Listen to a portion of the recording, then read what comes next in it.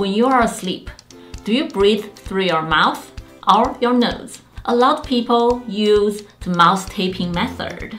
So they find out once you tape your mouth and then you start breathing through your nose, and they experience a lot of benefits. For example, some people told me they sleep better, they have less headache, and even their sleep apnea gets better.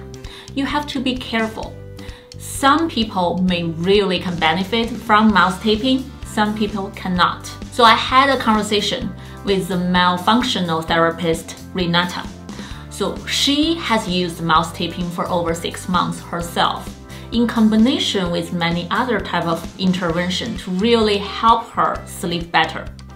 So she wants to share with us from both her personal experience and her professional knowledge that how mouth taping can really help us or harm us and what are the pros and cons you should pay attention to if you want to try the mouth taping method. So it's not the mouth taping is great, is the nose breathing is great. Mm. Well, like I said, it's very important for us to find out first why.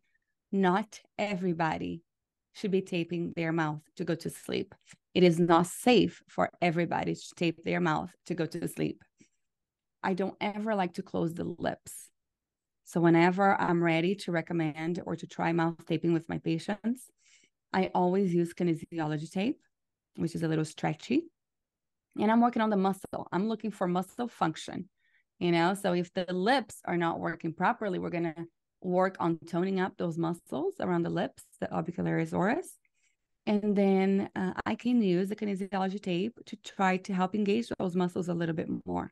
It's a sensory approach to get those muscles to work. Now, I'm sorry to say, but every other tape out there, it's not working this way. It's a mechanical uh, approach where let's just close them. So you're forced to breathe through your nose. And that is not how it should be done.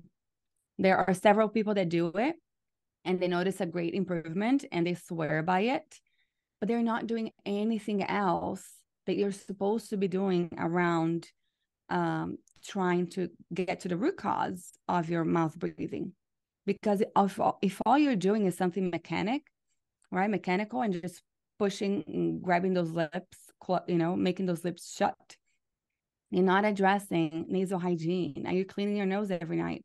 Are you trying to eliminate allergies? Um, you know, what else are you doing to promote that this thing is going to last forever? I taped for about six months while doing myofunctional therapy, while working on my allergies before I could stop taping and no longer need it. That's the goal. The tape is there to help you until you don't need it anymore. But now if you have to use it every night for the rest of your life, then you're not addressing the the the issue. Yeah, I do receive some comments from audience. They say, "Oh, I like I'm not taping my whole mouth. I'm ta- just mm-hmm. taping this middle part, or I'm punching holes in it, so yeah. I can still breathe, but my lips cannot really open easily." It's still it's still mechanical you're mm. still not addressing the issue now if you're doing that only you're not going to get very far but if you're working with a myofunctional therapist and she chooses to to get the patient to tape that way great. That is just not how i work. Uh, like i said i like to address muscle function and i need to get the muscle to contract a certain way. And having a piece of tape that goes vertically on your lips doesn't address that. Having a tape that goes over the whole lips and you poke holes in it, it's not going to address that. I need to think about how does that muscle contract and I'm going to go towards that contraction. So for people who really are into this mouth taping method and they or actually they're really into nose mm-hmm. breathing, right? Mm-hmm. So um, where should they get started with this journey of uh, figure out what's exactly going on with them? I always recommend seeing a myofunctional therapy first. Why? Because we are the middle puzzle piece of the multidisciplinary team. A myofunctional therapist is connected to an ENT. They are connected to an ENT or sleep physician.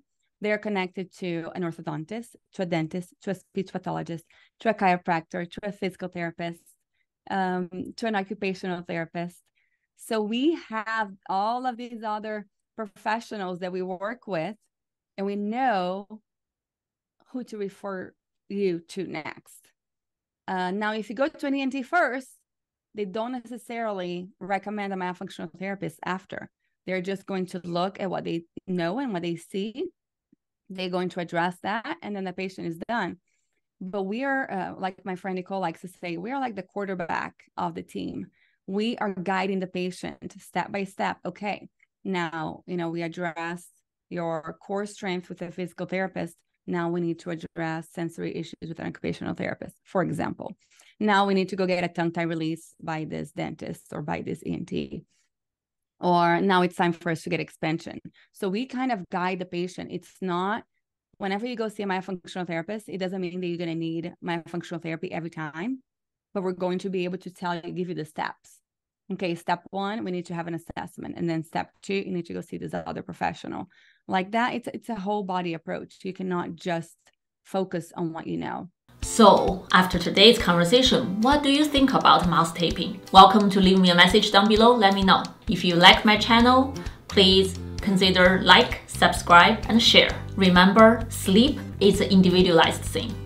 So hopefully you find the best way that works for you to optimize your own sleep. I'm Dr. Yishan. Thank you for watching. I will see you next time.